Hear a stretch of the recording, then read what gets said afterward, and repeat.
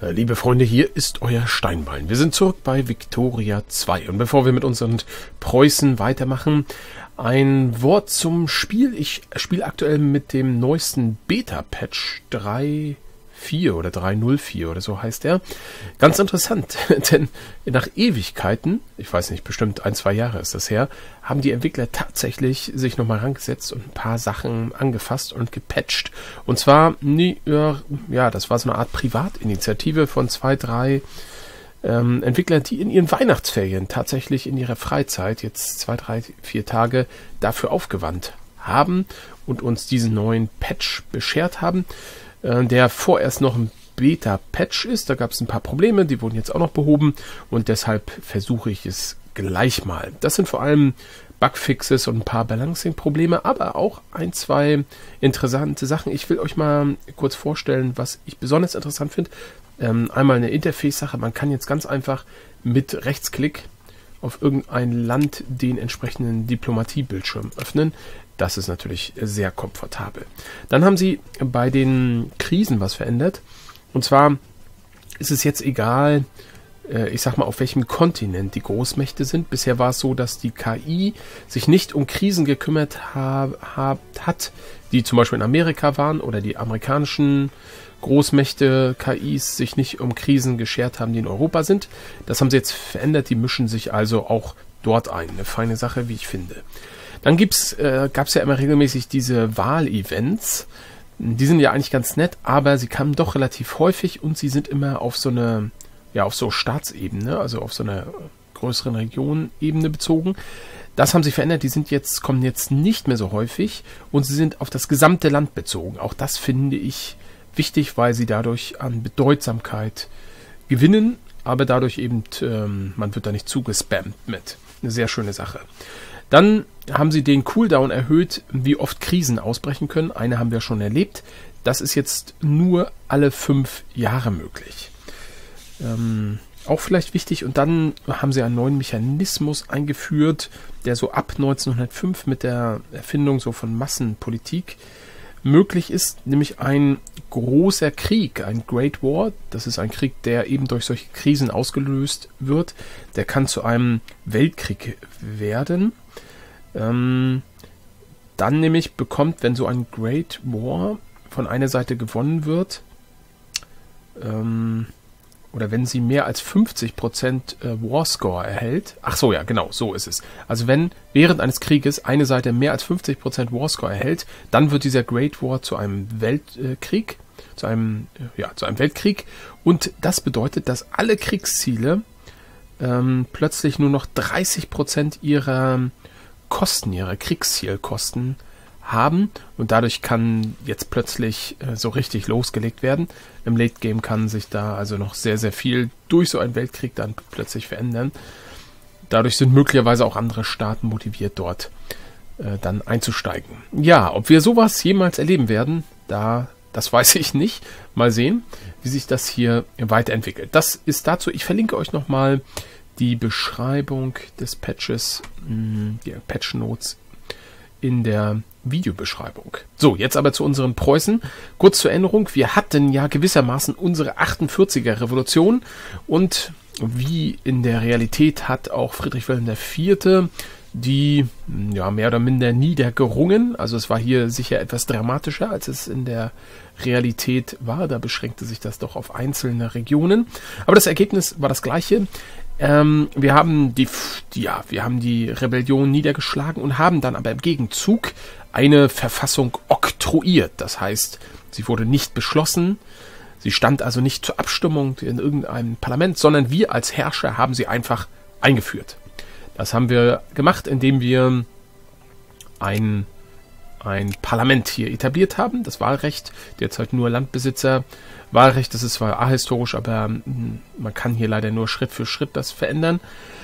Ja, äh, und damit ist offenbar diesen ganzen Liberalen der Wind aus den Segeln genommen. Aber dennoch gilt weiterhin mit Friedrich Wilhelm IV. weiterhin also eine sehr antiliberale Position und vor allem auch eine sehr skeptische Position gegenüber der nationalen Bewegung. Also wir werden jetzt nach wie vor keine ja, als echte Preußen hier keine Handlungen vollführen, die möglicherweise Preußen ähm, ja, zu einem Ende gegensteuern lassen.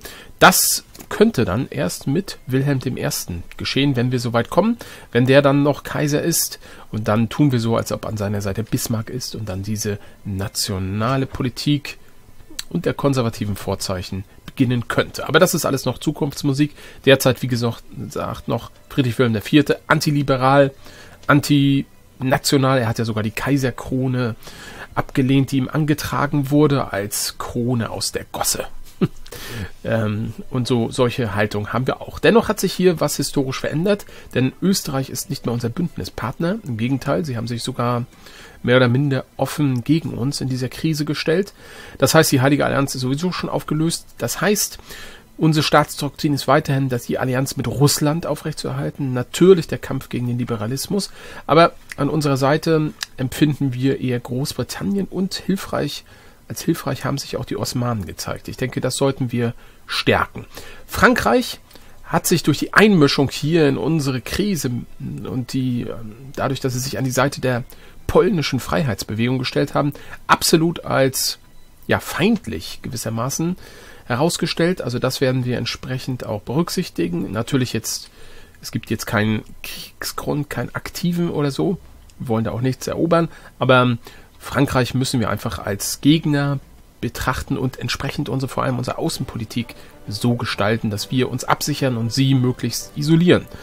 Österreich mh, hm, sehen wir noch nicht in so gleichfeindlich an wie Frankreich, aber wir sind sehr vorsichtig geworden und empfinden jetzt zunehmend Österreicher als Konkurrenz um unseren Einfluss in Deutschland und werden jetzt aktiv auch um ihre Einflusszonen in Deutschland vorgehen. Das haben wir auch schon angefangen, wenn ich mich recht entsinne, indem wir in Bayern so richtig losgelegt haben.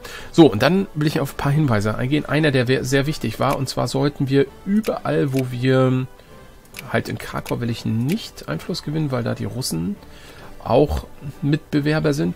Da wollen wir nicht anecken. Überall in den Ländern, die wir in der Sphäre haben, sollte ich mindestens einen Tick hier anlassen, damit wir ganz langsam und gemächlich auch hier unseren Einfluss dann immer auf 100 bringen. Denn im Notfall, falls wir dort bedrängt werden durch fremde Mächte, zum Beispiel die Österreicher, dann sind wir handlungsfähig. Das ist ein sehr, sehr sinnvoller Hinweis, wie ich finde. So, hier in Bayern haben wir jetzt volle Puller. Da geht es jetzt um die Konkurrenz. Gut, mit, mit Österreich. Mal gucken, ob es uns gelingt, tatsächlich die dort rauszuwerfen. Soweit, so gut, ähm, was die Diplomatie betrifft. Dann ein Weiterer Hinweis, den ich aufnehmen werde, wir sind sowieso hier dauerhaft etwas im Minus. Wir haben Verwaltung bei 100% und haben deutlich mehr Bürokraten, als wir eigentlich dafür benötigen.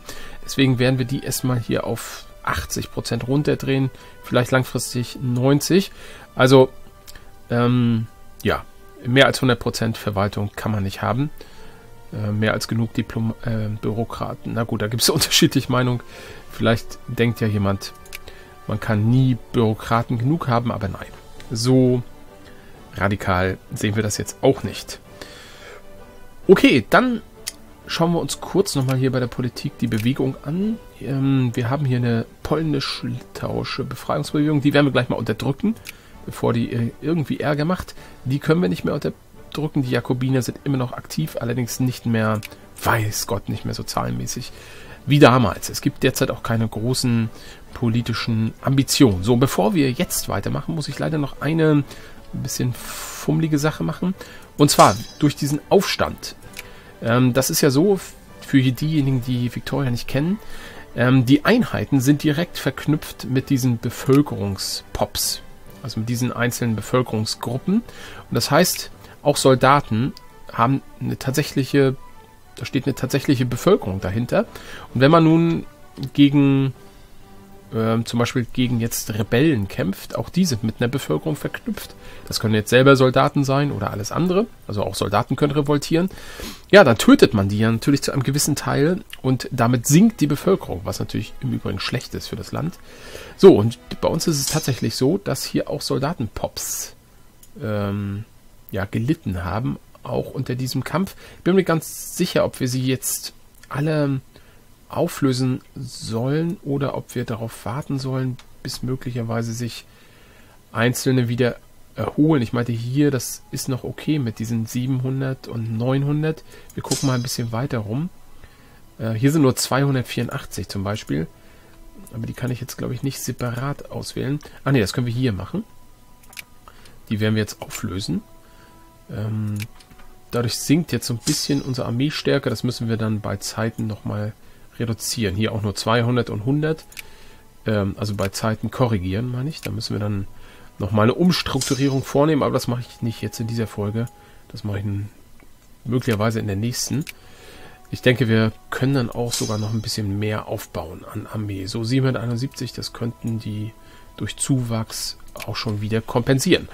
Okay, ich denke, wir können dann ein bisschen in der Zeit schon wieder vorangehen. Schauen wir mal, wie sich unser Budget, Budget so einpendelt. Oh, und wir haben eine Wahlauseinandersetzung, denn wir haben demnächst eine Wahl. Ja, das ist, glaube ich, dann die erste Wahl, die bevorsteht. Debatte über Bürgerrechtspolitik. Zwei Debattierer liefern sich in der verqualmten Luft der Stadthalle ein hitziges Wortgefecht. Das Publikum sitzt sprachlos da, als Wörter wie Ausländer, Minderheiten und ethnische und kulturelle Gruppen fallen. Der eine argumentiert damit, dass Einwanderer die dominierende Kultur ähm, ihres neuen Heimatlandes annehmen müssen, während sein Kontrahent der Ansicht ist, dass sich Einwanderer ihr kulturelles Erbe bewahren sollten und dass Preußen durch den Zustrom frischer Perspektiven gestärkt werden würde. Hm, naja, also wir haben hier eine klare Residenzpolitik, Bürgerrechtspolitik und insofern äh,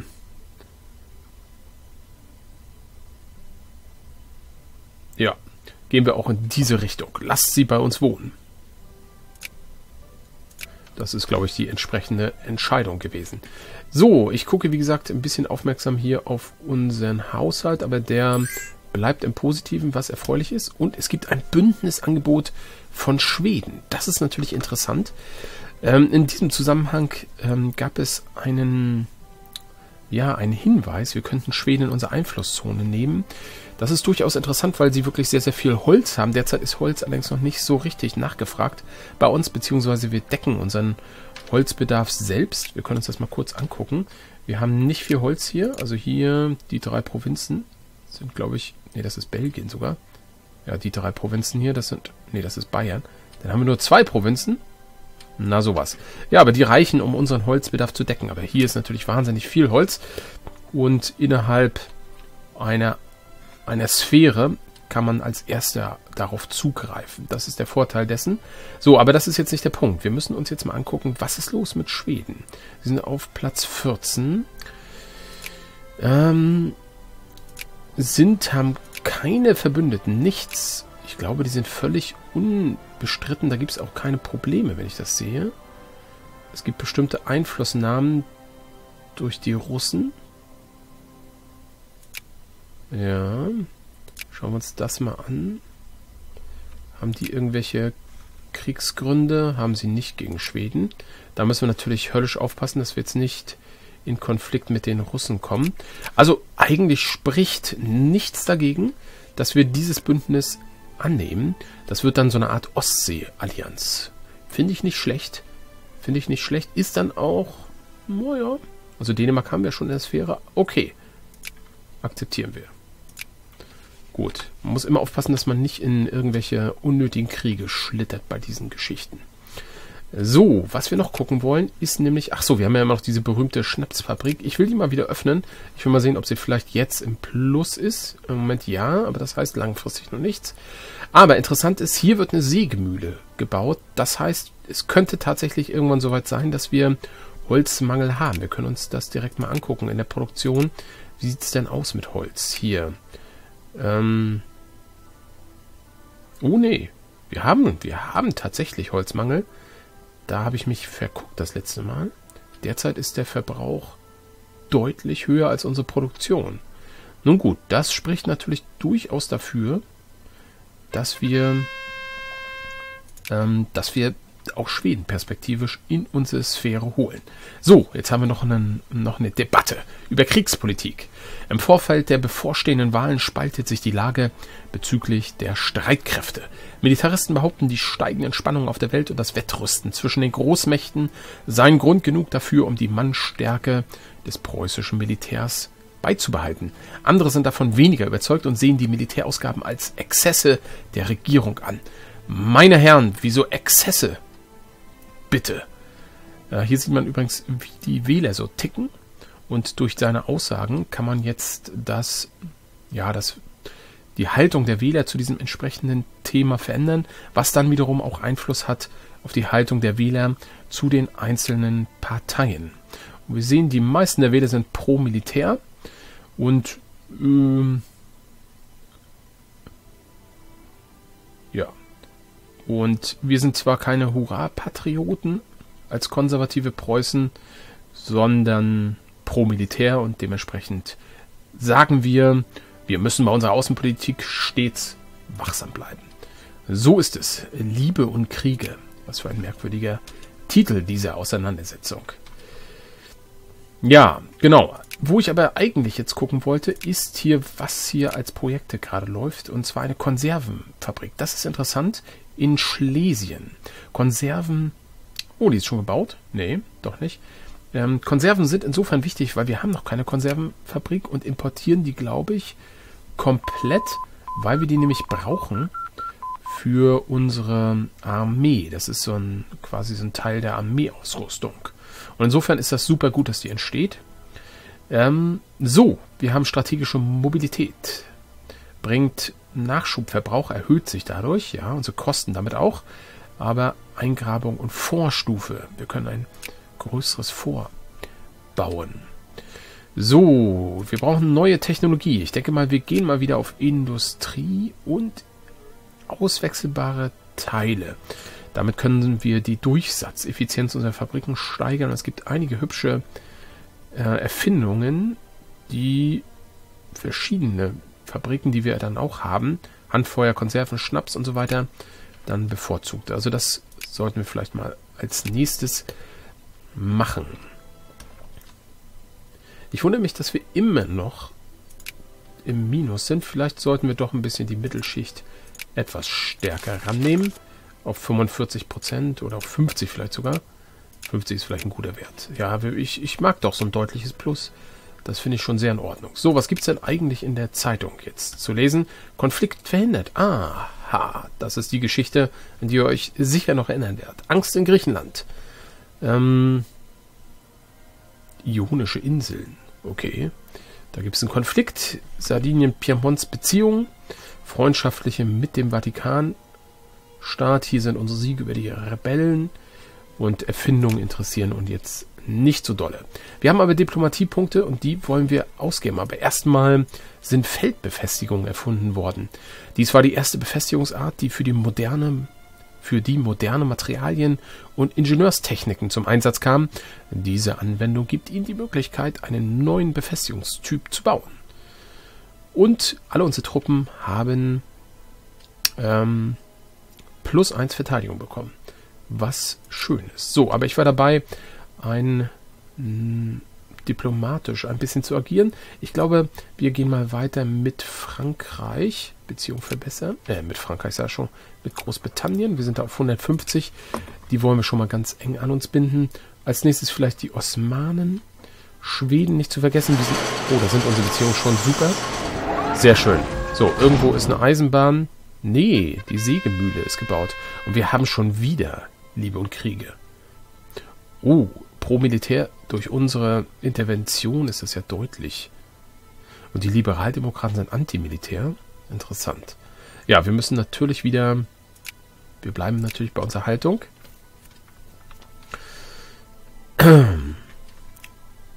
Sägemühle.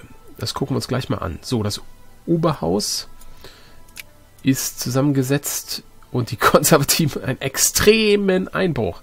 Meine Herren, die Liberalen haben jetzt die absolute Mehrheit da im Oberhaus. Wobei, wie gesagt, naja, so richtig Oberhauswahlen gibt es ja nicht.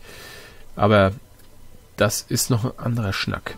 Ähm, genau, Konservenfabrik, das wollte ich euch noch zeigen. Schlesien ist ein sehr geeigneter Ort sogar dafür, denn es hat Getreide und es hat Stahl oder Eisen, besser gesagt. Und das braucht man für Konserven. Insofern werden wir das Ding richtig unterstützen. Aber erstmal sind Wahlen beendet und die Liberal-Demokratische Partei hat zum Glück nur 20% erhalten und unsere konservativen 80%, beziehungsweise die Koalition aus konservativen und reaktionären Parteien. Puh, okay, das ist eine anständige Regierungsbasis. Damit haben wir, ich weiß gar nicht, die nächsten vier Jahre vor uns. Bin mir gar nicht so sicher, wie oft jetzt hier die Wahlen stattfinden. So, und ich wollte das noch abschließen. Wir werden jetzt hier mal ordentlich Subventionen reingeben und mit diesen wegweisenden ähm, Dingen hier, mit dieser Wahlentscheidung, die nächste Wahl ist 1852. Ähm, ja, genau, vier Jahre. Vier Jahre haben wir erstmal wieder die Konservativen ähm, weiterhin an der Regierung. Also, insofern können wir guten Mutes in die nächste Runde gehen. Das Jahr 1848 ist angebrochen, wobei dieses Jahr nicht die historische Bedeutung haben wird, die es in der Realität hatte. Das hatten wir schon, war es 46? Ich weiß nicht mehr genau. Ich bin gespannt. Bis zum nächsten Mal. Macht's gut. Euer Steinballen.